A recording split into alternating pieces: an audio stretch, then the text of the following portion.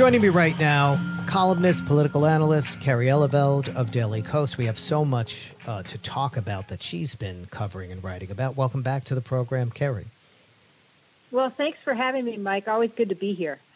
I was just talking about the digital ads that Democrats are running, uh, responding to the Democratic National Committee, Rick Scott's uh, Rescue America platform, the 11 point plan, which is all about raising taxes on millions of Americans. And it's great to see the DNC doing uh, these ads. Uh, as we're coming to tax time, they're actually digital ads for people who are searching online trying to do their last minute, uh, you know, tax preparation, they they direct them to this website. That's great. I did not realize that's where they were popping up. That's fantastic. Yeah, it's called and it's GOPTaxHike.com. Talk, talk a little bit about the plan because you've dug into it and and we've been talking about it. How it would raise taxes on roughly a hundred million low and moderate income Americans. Yeah, exactly. I mean, you know, it's not just tens of millions it's like a hundred million. You know, there's like, I mean, you know, Rick Scott, of course, laid this out much to the, to the chagrin of of minor, GOP minority leader Mitch McConnell, who who was very happily and smugly, you know, saying, I'm not going to let anyone know what we're going to do. We'll decide when we, you know, we'll let you know when we get the majority. I mean, he, he just didn't want to put anything out there. So then Rick Scott, who, who, you know, is kind of trying to position himself, I mean, this is part of the problem the GOP has right now, is that no, no one leader is particular, no one believes that they're, I mean, by far the most popular person, don't get me wrong, right now in the Republican Party is still Donald Trump. That's still true, right? right? But everybody's like, gee, is he really going to run or might, you know, might some horrible thing, you know, you know, block him from being able to do that. So everybody's sort of still positioning themselves to have opportunities. And Rick Scott has always wanted to run, you know, um, for for president. I mean, he sees himself in that light. Um, his you know was sort of an he has sort of an alienist quality I guess he would bring to the White House. But anyway, um, he but and, you know he's got some very strange hand gestures. He's got that very you know I mean I I think there's a lot of really attractive bald men out there, but he just got he just looks, he's very odd. I, I shouldn't even go into it. He's odd. He's odd. He, there's something that's kind of odd and unrelatable about him. So anyway, it's you know I sh- I should not be bringing those up. If if someone's bringing qualities like that up about a woman, I would say that's sexism. So you know, shame on me. But in any case, uh, I digress. The point is okay. is that Rick Rick Scott has ambitions, and they are presidential in nature. But if uh, he cannot run for president because Donald Trump, you know, runs is still sort of uh, running the line there. Then you know he he hasn't ruled out trying to oust McConnell. And McConnell still had, you know, McConnell has held on to that job partly because the big right wingers in the caucus, uh, like Josh Hawley, like Ted Cruz, are just enormously unpopular. Nobody likes them. You know, I mean, it, wasn't it Lindsey Graham who famously, famously said that, that someone could murder uh, Ted Cruz on the Senate floor and no one would say anything? I don't know, something horrible like that. So, in any case, he's he's not a very, po- you know, he doesn't have any any sort of popular people trying to oust him. You know, Rick Scott's I think in order to position himself for a future president presidential run, wouldn't mind having uh, Mitch McConnell's you know ties, his developing his uh, fundraising network, whatever. So he comes out with this plan, and it and one of the things in it, one of the little nuggets of this eleven point plan is every everybody, every American needs to have skin in the game. And what he's what he's saying is everyone needs to pay taxes no matter how disadvantaged they are, no matter how little means they have or whatever. And he's basically talking about raising tax, taxes on, you know, uh, he's he wants to raise about a trillion dollar in re, dollars in revenue over a decade and do it on the backs of working and middle class Americans, mm-hmm. basically so that the wealthy corporations and individuals in, in America can continue to keep the tax cut that the GOP, right. the super unpopular tax cut that the GOP pushed through in 2017. So, I mean, this is just like. And, and you mean, know, I, I, I and, and I got to say, even McConnell's response to it, it, it had a bit of like, don't say the quiet part out loud, you know, quality to it because he said we are not going to raise taxes on over half of Americans, and we're not going to sunset Social Security in five years. They both had this like last phrase that was like, okay, maybe it's slightly less than half America of Americans. Maybe it's sunsetting Social Security in eight years, right? Like, right, exactly. We're gonna sun, we're gonna sunset it in eight years. And by the way, we're only raising taxes on forty nine percent of Americans, right, not half. Right. So there. So I mean, but yeah, exactly. And the and the other point is, is like I I think you know. The, a lot of people are like, this is Rick Scott's plan as far as I'm concerned, it's the only GOP plan out there right now. You know, right. for, for the Senate for Senate Republicans, McConnell has failed to articulate anything. And what Rick Scott did was, you know, uh, step into that vacuum and offer up his vision.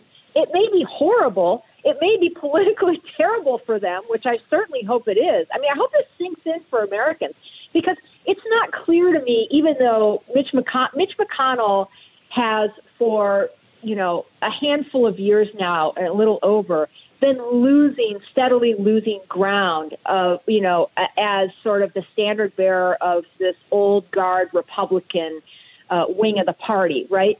And it's it's more Trumpy now than it ever was, even when Trump even when Trump was pre- was was president. So you know he he just continues to lose ground. I I don't put it past Rick Scott to be able to pull off pull that off. Yeah. Oh, if and, Trump runs you know, again.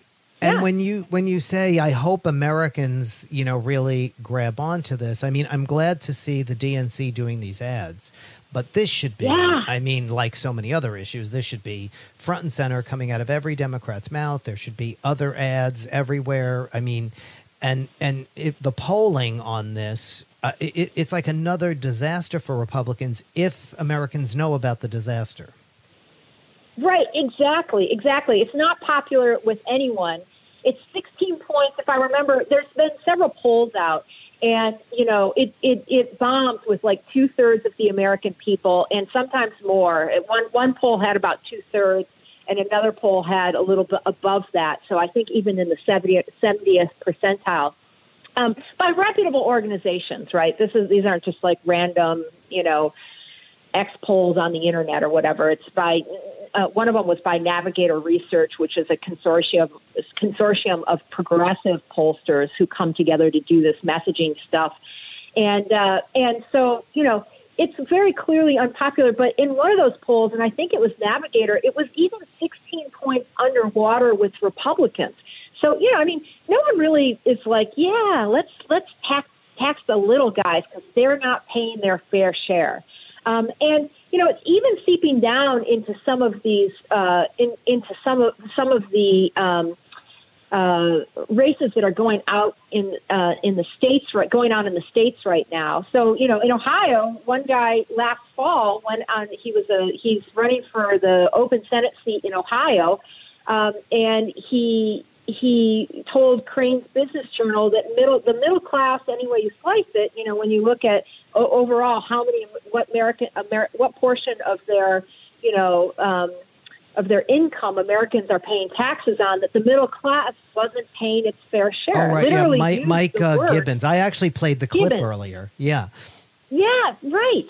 So, so I mean, the, the thing is, is that with absent Rick Scott's, you know, 11 point platform for what, you know, agenda for what Republicans would do, um, which is really quite awful. I mean, it's a dystopian hellscape that he's talking about there. There's other things in it, but um, in any case, if he hadn't put that out, I think that Gibbons comment just kind of goes away. It doesn't get noticed. It happened last fall, anyways.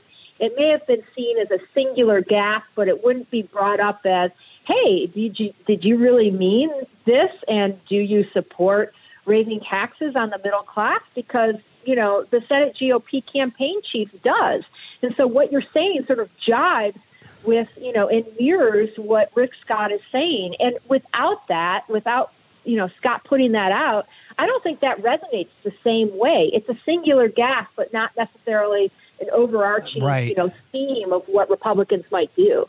Right. Now, you've also been looking at polling uh, regarding President Biden and uh, certainly looking at the Civiqs poll and his numbers, obviously, over uh, a period of months have gone down.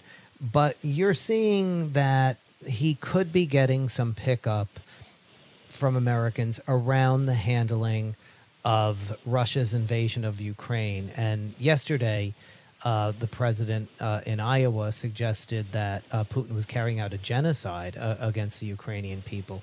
Talk a little bit about that, uh, and and you know, obviously President Zelensky responding, calling him a true leader, and and how that's rubbing off and and could help him.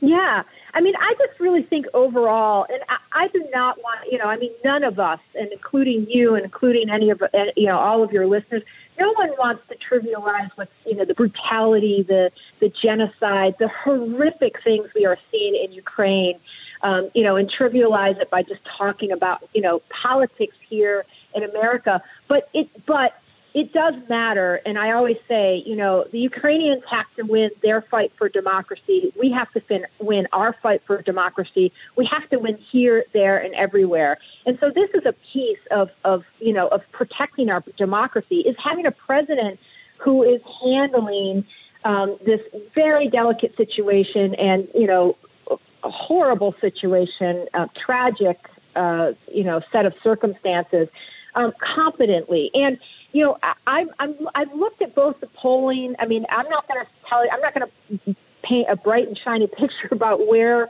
uh, Biden's approval numbers are right now. They're still not high. There's still a ton of people who think the you know country is headed in the wrong direction. But on the issue of Ukraine, I really do think he's gained credibility here. It doesn't hurt to have someone who has become an international hero um, call him a you know a, a true leader uh, today or yesterday. I guess probably uh, uh, President Zelensky did that yesterday. Uh, but the time changes throw me off a little bit sometimes. But anyway, um, but the point is, is that uh, you know I, I look at the polling and also have been have kind of become addicted to. Um, a podcast called uh, The Focus Group with Sarah Longwell. Okay, she's a never Trumper Republican who I actually knew quite well in D.C. when I lived there, um, and and uh, she is publisher of the Bulwark. So she decided she for years right. she did focus groups, and now she decided let's just put them on air. People can hear for themselves what the you know what what they're telling us. And so if you combine a little bit, sort of the numbers that you're seeing in the polling, plus why people are thinking these things in the you know in the focus groups, you get a sense, and it's clear that there's that, that this is doing two things um, for uh, Biden. Um, number one, you know, it's reminding Democrats why it's so important and why they voted for this guy. Um, you know, because he, he can handle an international affair like this that is has so many consequences, and it could have consequences for generations. Um, but it's also, you know, it, you hear in these in these uh, focus groups these Trump Biden voters, right? The voters who voted for Trump in 2016 and voted for Biden in 2020.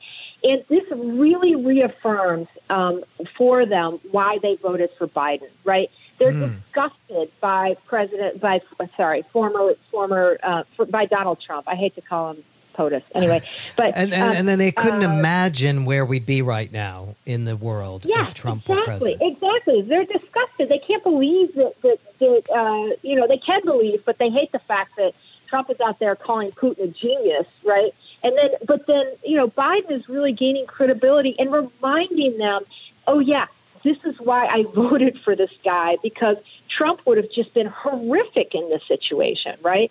So it's really clear to me that this this and I think when he gets you know a second you know last week or whatever uh, Biden said that thing where good God this you know this man Putin cannot remain in power, right?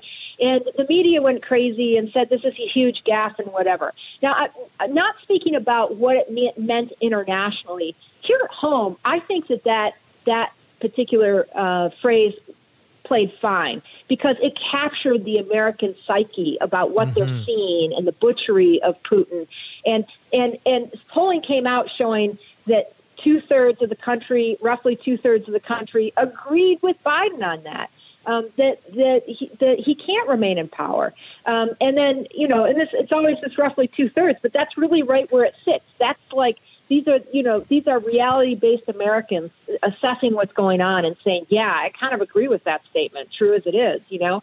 And then and then the same thing with Biden's you know, kind of getting ahead of the international lawyers declaring this a genocide and saying, look, he's trying to wipe them out over there. He's trying to wipe out what it means to, to even be a Ukrainian. Like, it's a genocide to me. You know, that that is both shaping what Americans uh, it's both helping to shape how Americans view the war in Ukraine, but it's also it's also reflecting the American psyche. Um, you know, I think he's just in, in those moments, he's sometimes his best where he's just sort of like empathically saying what he sees and saying what he thinks. And it's very reflective of what most of the country is seeing too. Yeah, it'll be interesting uh, seeing how how this moves forward. And of course, um, as this war, which nobody knows where it's going, uh, continues. Uh, it, it's so great to have you on to talk about these issues, Kerry. It goes so quick, uh, so so we'll have to pick it up. I had a whole bunch of other things I wanted to get into, but we'll have to pick it up again. Sorry. So thank thanks so much yeah. for coming on today. Well, thank you to you. No, and, no and apologies, please. No apologies. It was. It's always great uh, hearing from you. Uh, so thanks for coming on, uh, Kerry Eleveld, folks. Uh, make sure to follow her on Twitter at Kerry Eleveld, E L E V E L D, at Daily Kos. We're back in a couple of minutes. This is the Michelangelo Signorile Show, Sirius XM.